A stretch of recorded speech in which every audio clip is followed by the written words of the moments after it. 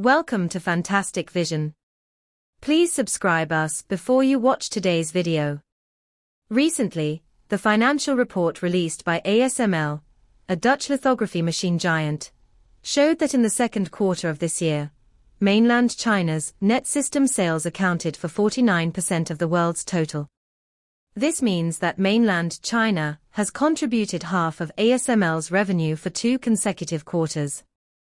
More importantly, this was achieved without selling those expensive EUV and DUV lithography machines.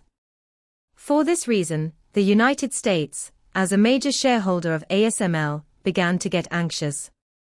It not only required ASML to control the sales volume of lithography machines, but also considered implementing more stringent measures.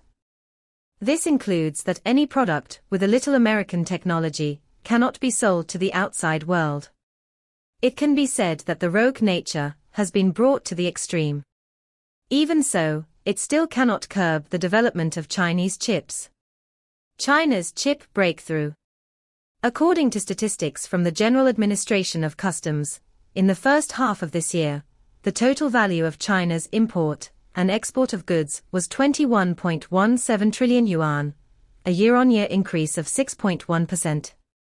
Among them, exports were 12.13 trillion yuan, a year-on-year increase of 6.9%. Imports were 9.04 trillion yuan, a year-on-year increase of 5.2%.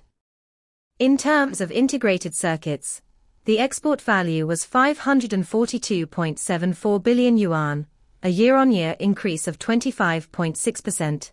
The export volume exceeded 258.89 billion pieces, a year-on-year increase of 14.1%.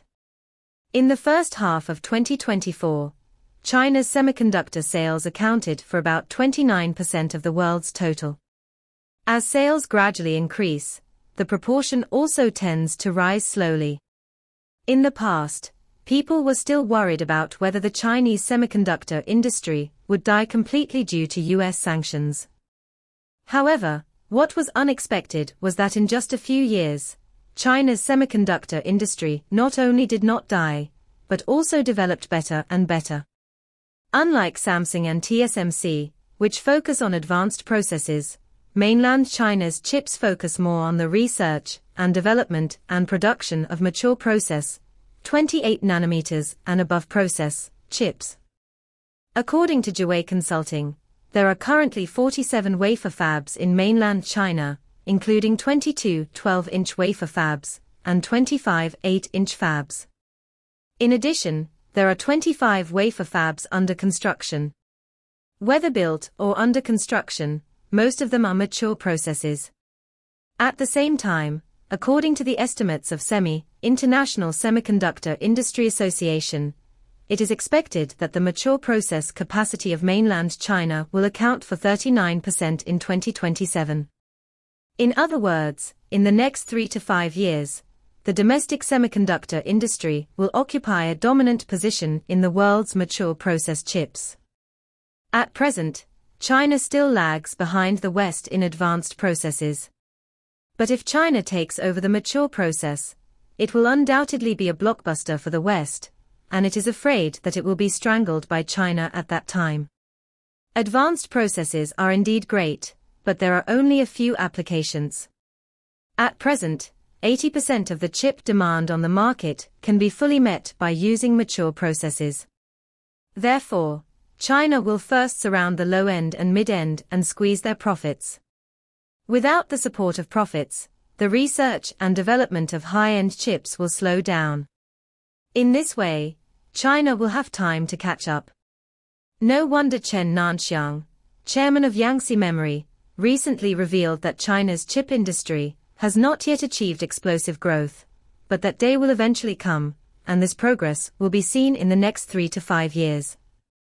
In his judgment, now is not the best time for China's semiconductors, and it is still accumulating strength for development.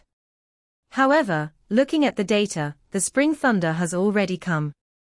Apart from anything else, the previous release of Huawei Mate 60 is a strategy of building a plank road in the open.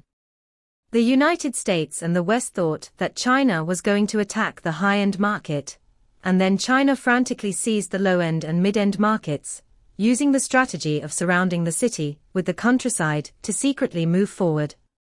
Foreign media reported that the EU is paying close attention to the rapid development of China's chip industry, especially the low-end and mid-end chips above 28 nanometers, to prevent it from invading the European market in a big way.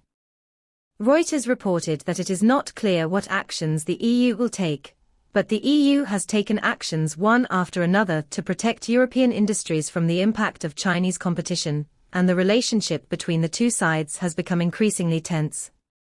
EU imposes high taxes on Chinese electric vehicles. The first to bear the brunt is the EU's 38% tariff on Chinese electric vehicles. The EU said that the tariffs imposed on Chinese electric vehicle manufacturers include BYD 17.4%, Geely 19.9%, and SAIC 37.6%. According to the European Automobile Manufacturers Association, the market share of Chinese-made electric vehicles in the EU has climbed from about 3% to more than 20% in the past three years. You see, China's share is rising very fast, no wonder the EU is so anxious. Seeing that their own electric vehicles cannot compete with China, they want to raise tariffs to prevent China from entering. But new energy vehicles have become the general trend, and no one can change it. For this wave of EU operations, BMW, Volkswagen, Mercedes-Benz and other European car companies have expressed opposition to it. Some people do not understand this. Chinese car companies are subject to heavy taxes. Why do European car companies express their opinions first? In fact, if you dig deeper, you will understand that the scope of the EU's taxation this time is not limited to electric vehicles of Chinese car companies, but all electric vehicles produced in China. In other words, as long as pure electric vehicles made in China are shipped to Europe for sale, no matter whether they are Chinese brands or brands from other countries, tariffs will be imposed. You know, China is an important market for these European car companies. Although they mainly focus on fuel vehicles, they also make pure electric vehicles. Therefore, this wave of EU operations is undoubtedly killing 1,000 enemies and hurting 800 of themselves. The same is true for chips. If China is allowed to slowly master mature process technology and form a monopoly, it will undoubtedly be a nightmare for the United States and the West. Now they still have the chip card to play, but it will not be long before this only card is useless, and their fate will be doomed. Remember how China made a breakthrough in the shield machine before. In the past, China could not build a shield machine, so foreign manufacturers opened their mouths and asked for 350 million yuan for one machine. If you want to buy it, buy it, if you don't want to buy it, forget it. There is no way, you can only be slaughtered by others because you are not as good as others.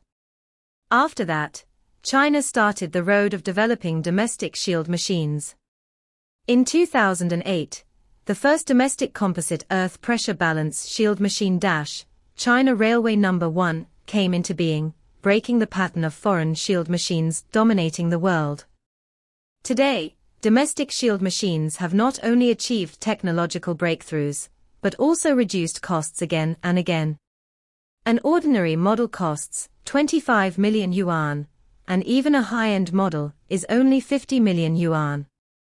In terms of market share, China's shield machines occupy more than two-thirds of the global market, becoming the world's undisputed number one, and even exported to more than 30 countries abroad, including Europe.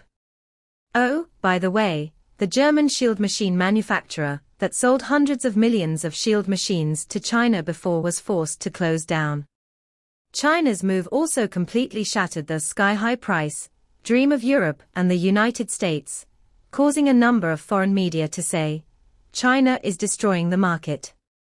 But justice is in the hearts of the people. Who is destroying the market? Anyone with a discerning eye can see it at a glance. This is true for shield machines, and even more so for chips.